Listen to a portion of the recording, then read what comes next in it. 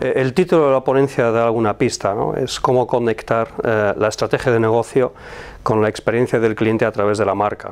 Eh, entonces, hemos estado hablando sobre todo, que es un punto importante, de cómo los usuarios, los consumidores, los clientes se relacionan con las marcas, por qué consumen marcas. Hemos estado hablando de que las marcas en definitiva son percepciones y que esas percepciones, esas opiniones que la gente tiene eh, de una marca determinada, eh, es lo que les lleva a aceptar pagar eh, un sobreprecio en definitiva por esos productos. Es decir, alguien que compra unas zapatillas Nike en vez de unas zapatillas de marca blanca, por ejemplo, pues perfecto, no hay ningún problema problema, eh, él paga ese sobreprecio y el extra de precio que está pagando en definitiva es una contrapartida por el beneficio, eso sí, emocional, no funcional o por lo menos no muy funcional, algo de mejora funcional puede haber en la zapatilla Nike versus la de marca blanca, pero tampoco tiene por qué haberla, sobre todo lo que hay es una compra de poder, bueno, esto es más complejo, pero sustancialmente eh, que otros vean que lleva unas zapatillas de Nike, entonces lo que se hace es apropiarse de la simbología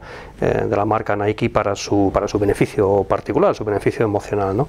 Y lo que hemos estado hablando en una segunda parte era de cómo se puede eh, generar, en definitiva, eh, ese, esa percepción positiva que lleve a la gente a comprar eh, nuestra marca frente a la marca de la competencia.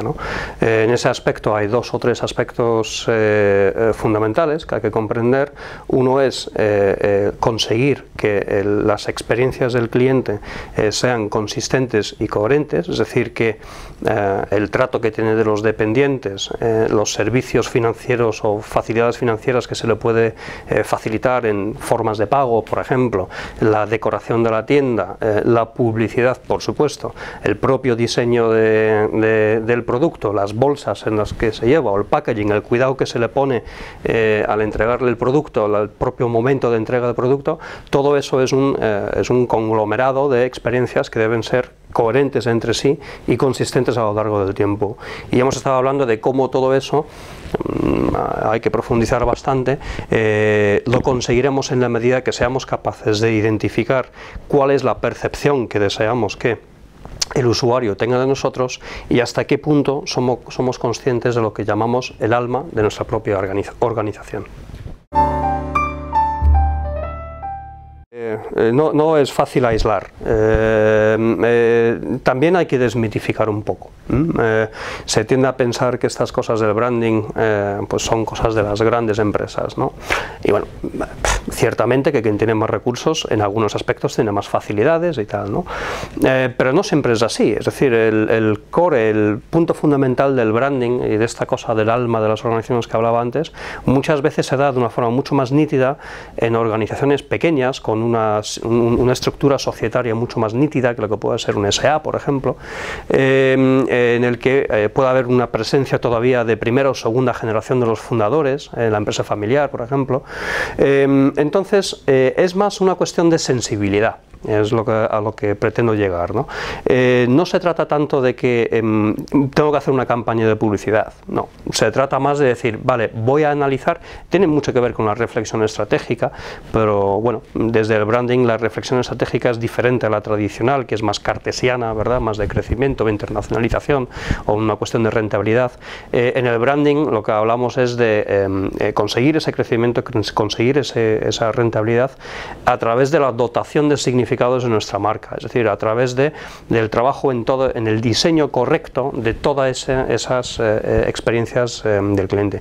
En ese sentido, para las pymes funciona exactamente igual que para una empresa grande, es una cuestión de dimensión y ya está.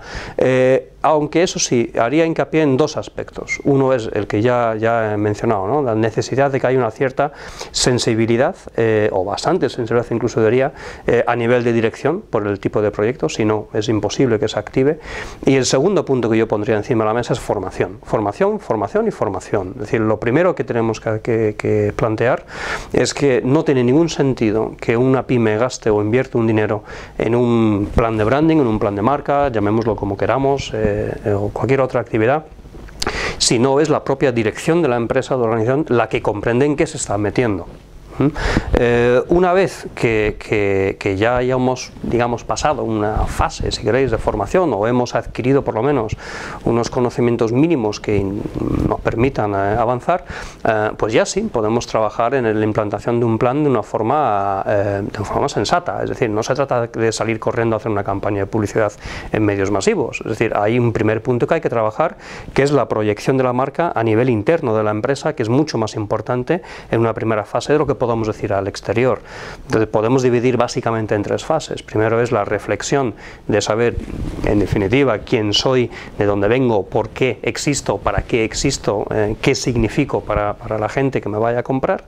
La segunda fase va a ser un despliegue interno de todo ese bagaje de reflexión y solamente una tercera fase es cuando empezaremos a hablar de operativizarlo eh, externamente. Pero operativizarlo si no hay recursos puede ser con los mismos recursos que se lleva haciendo. Es decir, se trata a lo mejor de cambiar la redacción del folleto para entendernos. No se trata de hacer cosas nuevas necesariamente. Es decir, lo que estamos planteando aquí es más mm, suena un poco ampuloso, pero un nuevo paradigma de forma de gestión empresarial más que otra cosa.